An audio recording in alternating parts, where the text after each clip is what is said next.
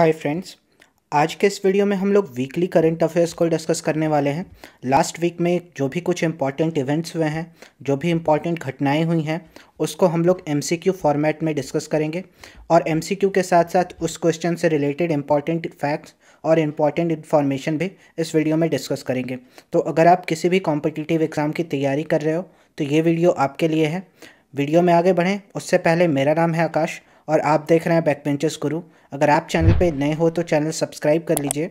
साथ ही साथ नोटिफिकेशन का बेल आइकन प्रेस कर लीजिए। ऐसे ही करंट अफेयर्स और जनरल नॉलेज वीडियोस के लिए। तो सीधा आते हैं फ़र्स्ट क्वेश्चन पे।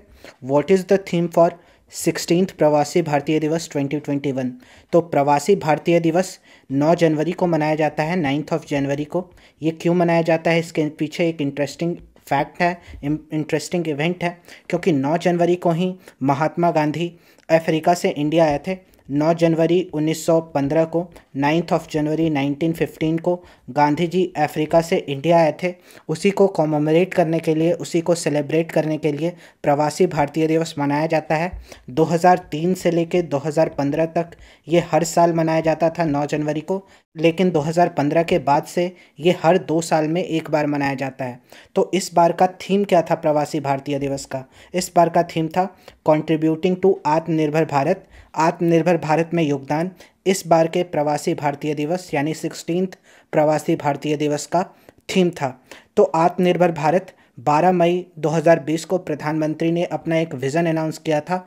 सेल्फ रिलायंट इंडिया का, यानी आत्मनिर्भर भारत का। जो भी वैश्विक महामारी के वजह से सप्लाई चेन में डिसरप्शन आया था तो उससे भारत को फ्यूचर में कैसे बताया जा सके और इंडिया को आत्मनिर्भर कैसे बनाया जा सके, इसलिए आत्मनिर्भर भारत मिशन की शुरुआत की गई थी। तो ये काफ़ी इंपॉर्टेंट है, इसलिए इस बार का थीम है कॉन्ट्रीब्यूटिंग टू आत्मनिर्भर भारत और प्रवासी भारतीय दिवस को ministry of external affairs organise कराती है। इस बार का समिट वर्चुअल हुआ था पैंडमिक की वजह से।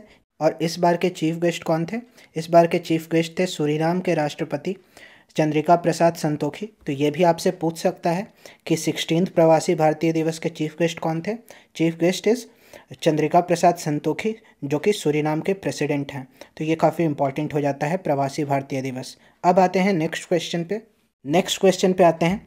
World's largest floating solar energy project is to be constructed in which of the following state दुनिया का सबसे बड़ा फ्लोटिंग सोलर एनर्जी प्रोजेक्ट किस राज्य में बनने वाला है? तो ये बनने वाला है मध्य प्रदेश में। मध्य प्रदेश के खंडवा ज़िले में दुनिया का सबसे बड़ा फ्लोटिंग सोलर एनर्जी प्रोजेक्ट बनने वाला है। 2022-23 तक ये ऑपरेशन में आ जाएगा और इसकी कैपेसिटी होगी 600 मेगावाट की।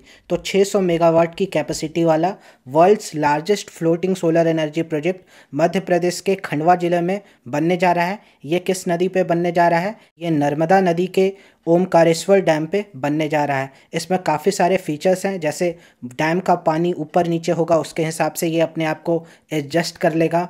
ये डिज़ाइन इस तरह से किया गया है कि आसपास की जितनी भी पावर की ज़रूरत है, उसको ये पूरा कर सकेगा। ये 410 मिलियन डॉलर का प्रोजेक्ट है, जिसको international finance corporation world bank और पावर ग्रिड जैसी संस्थाएँ मिलके इसको ऑफ़र कर रही हैं। तो ये काफ़ी इंपॉर्टेंट है। दुनिया का सबसे बड़ा largest floating solar energy project ये मध्य प्रदेश में बनने जा रहा है। और इंडिया का पहला फ्लोटिंग सोलर प्रोजेक्ट कौन था? ये कमेंट सेक्शन में बताइए। नेक्स्ट क्वेश्चन पे आते हैं। नेक्स्ट क्वेश्चन है H five N one is a type of influenza virus is the cause of which disease H five N one कौन से डिज़ीज़ का कारण बनता है? तो एच फाइव एन वन अभी काफ़ी चर्चा में है। एवियन इन्फ्लुएंजा का कारण बनता है। एवियन इन्फ्लुएंजा यानी बर्ड फ्लू।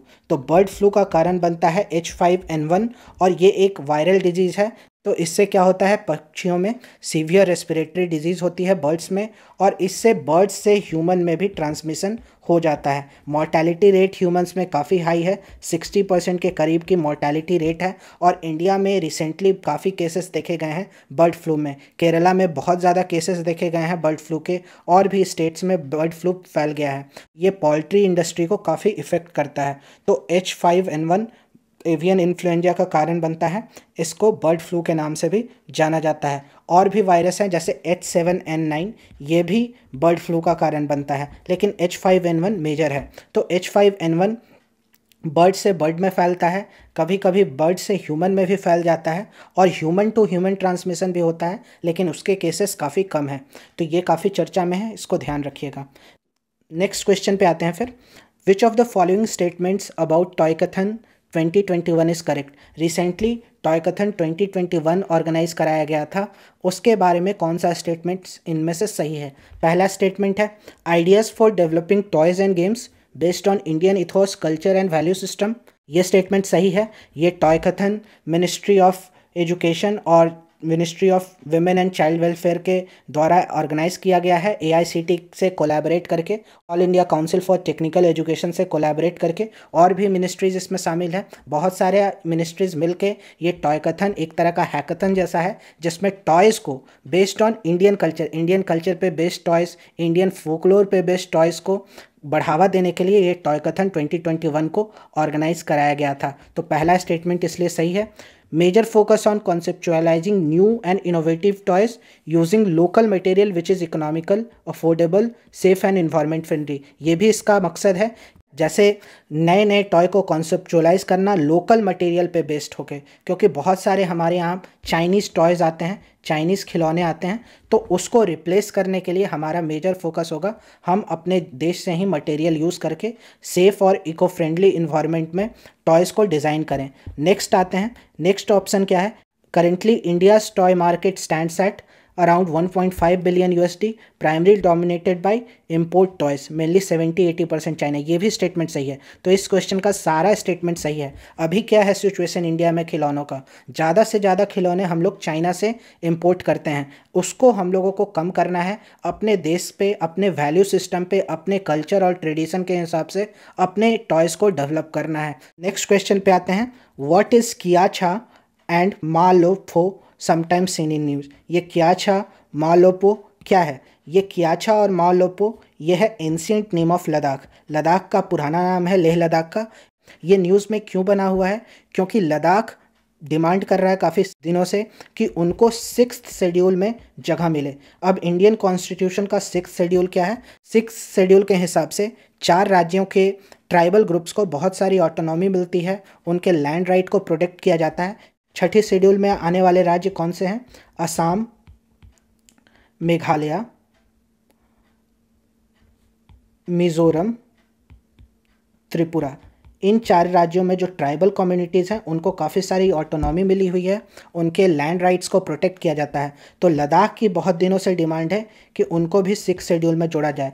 क्योंकि 2019 में जम्मू एंड कश्मीर को बाइफरकेट करके लद्दाख यूनियन टेरिटरी और Jammu and Kashmir union territory में बदल दिया गया था और लद्दाख यूनियन टेरिटरी की ये डिमांड थी। और लद्दाख यूनियन टेरिटरी का, लद्दाख का, लेह लद्दाख का पुराना नाम एंशियन सिविलाइजेशन में कियाचा ये फ़ाहिन इसको बोलते हैं कियाचा फ़ाहिन और ये मालोपो ह्यून सांग बोलते हैं। फ़ाहिन किसके रेन में आए थे? फ़ाहिन चंद्रगुप्त विक्रमादित्य के रेन में आए थे।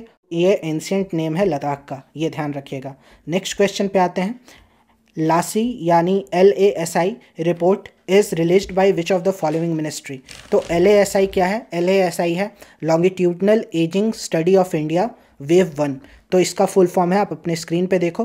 Longitudinal ageing study of India wave one report ये जारी करता है ministry of health and family welfare तो इस ministry of health and family welfare ने ये रिपोर्ट जारी की है. अब ये रिपोर्ट क्यों जारी की है? ये रिपोर्ट एक नेशनल सर्वे के जैसा है. साइंटिफिक इन्वेस्टिगेशन होता है.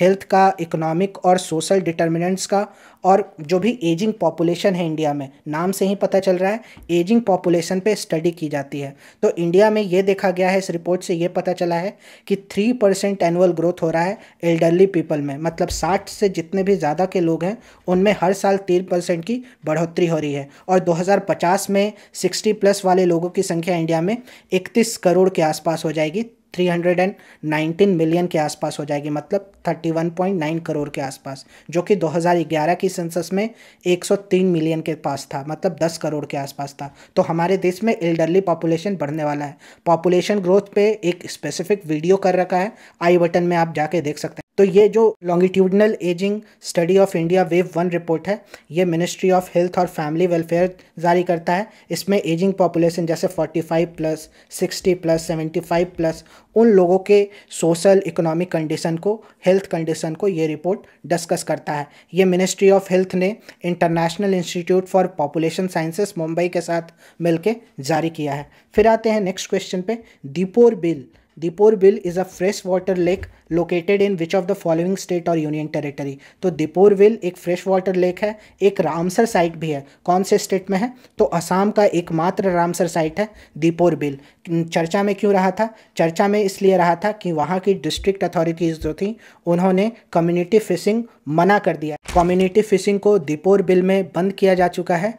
डिस्ट्रिक्ट एडमिनिस्ट्रेशन के द्वारा किस लिए? क्योंकि इस लेक का ओवर एक्सप्लॉयटेशन हो रहा था और ये वेटलैंड स्ट्रिंग कर रहा था। तो वेटलैंड रामसर साइट भी है और रामसर साइट इसलिए है कि वेटलैंड्स ऑफ़ इंटरनेशनल और नेशनल इंपॉर्टेंस है। इंडिया में टोटल कितने रामसर साइट्स हैं? कॉमेंट सेक्शन में आप बता सकते हैं। अभी currently how many Ramsar sites are there in India Ramsar sites पे बहुत सारे वीडियो बना रखे हैं। वो भी डिस्क्रिप्शन में मिलेगा या आई बटन पे मिलेगा, आप जाके देख सकते हो। तो असम में है Deepor Beel fresh water lake है रामसर साइट है।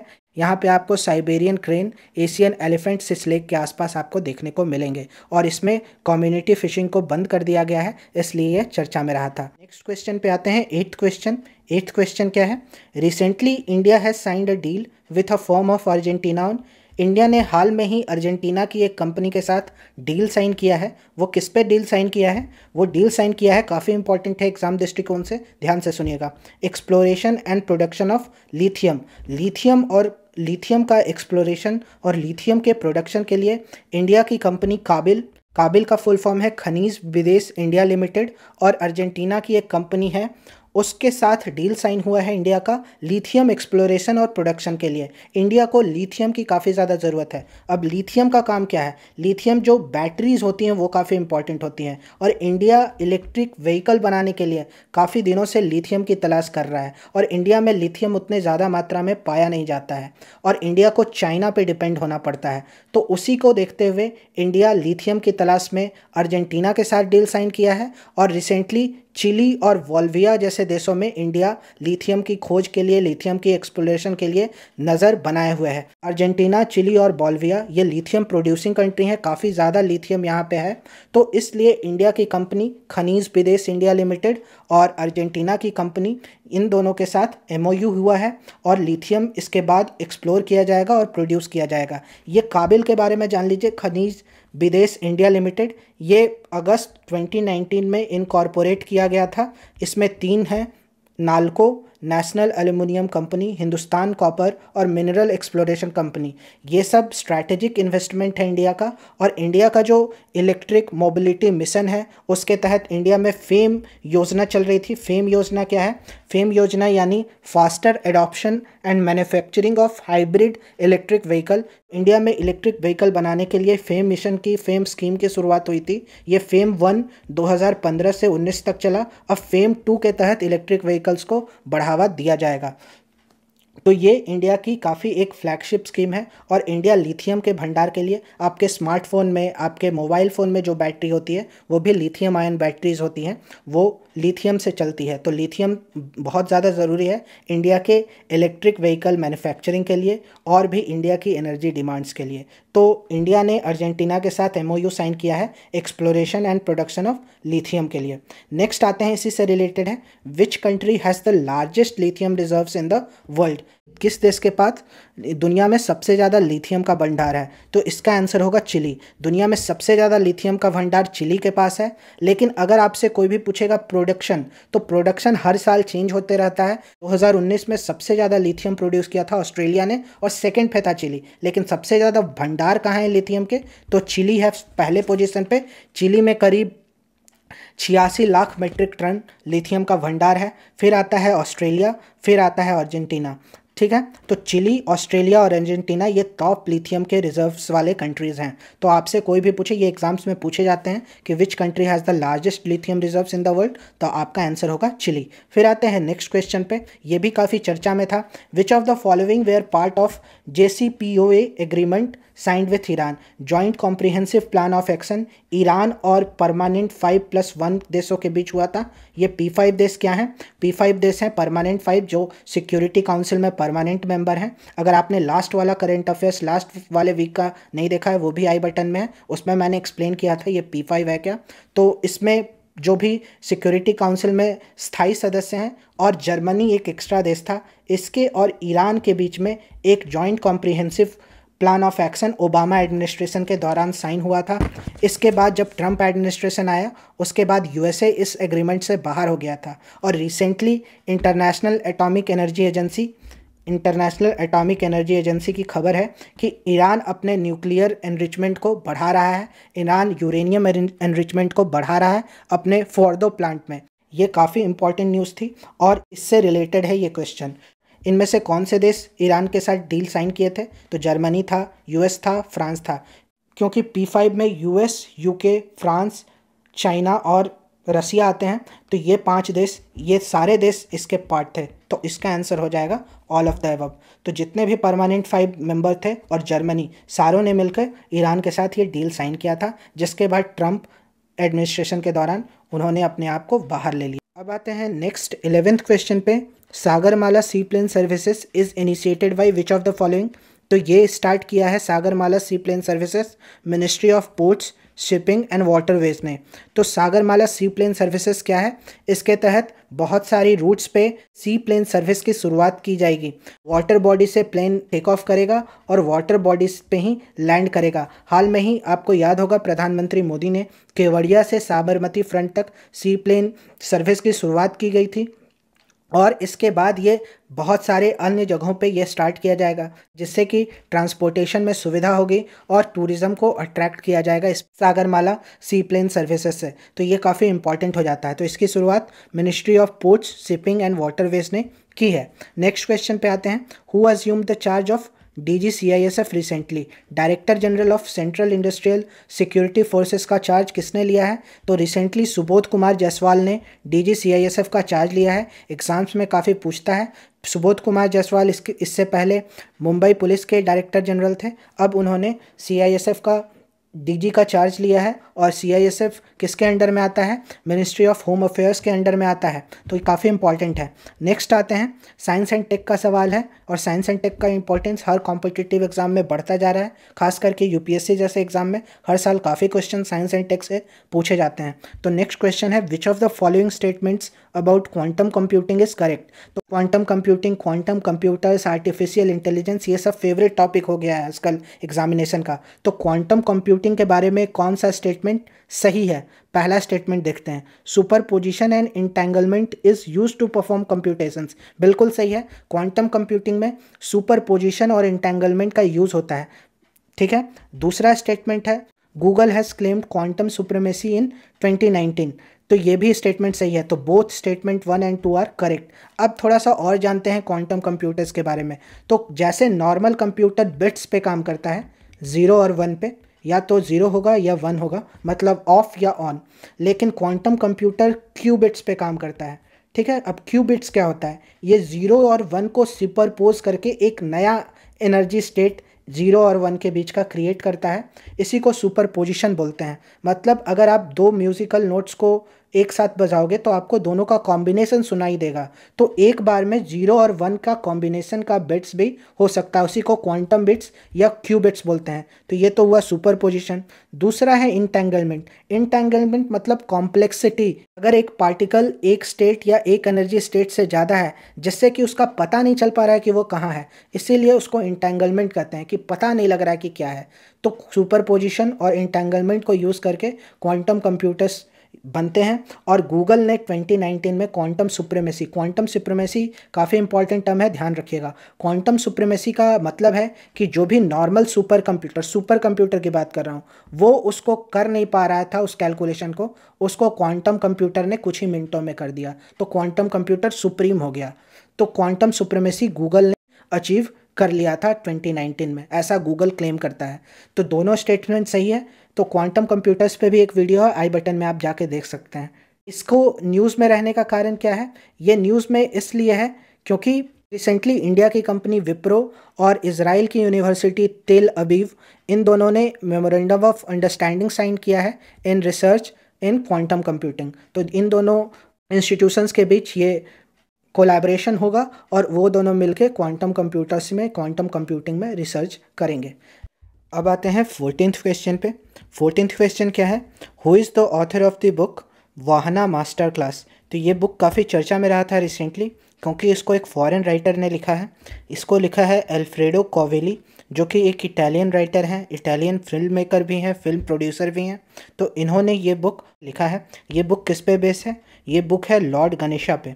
तो लॉर्ड गणेशा की जो सवारी है मूषक, और इसमें चार मूसक की कहानी है, फोर माउस की कहानी है और उनकी जर्नी की कहानी कि कैसे वो गणेश भगवान की सवारी बनना चाहते हैं। तो ये वाहना मास्टर क्लास काफ़ी चर्चा में रहा है। ध्यान रखिएगा एल्फ्रेडो कोवेली के द्वारा बच्चों के लिए लिखी गई किताब है। नेक्स्ट और लास्ट क्वेश्चन पे आते हैं। Which section of western dedicated freight corridor was recently inaugurated by PM Narendra Modi last week के करंट अफेयर्स वाले वीडियो में हम लोग ईस्टर्न डेडिकेटेड फ्रेट कॉरिडोर को डिस्कस किए थे।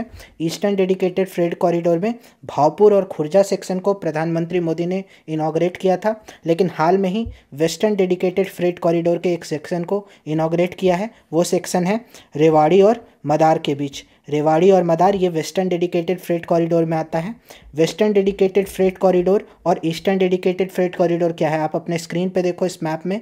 Eastern dedicated freight corridor Punjab के लुधियाना से, कोलकाता के दानकुनी तक और western dedicated freight corridor UP के दादरी से लेके मुंबई के जवाहरलाल नेहरू पोर्ट ट्रस्ट तक है।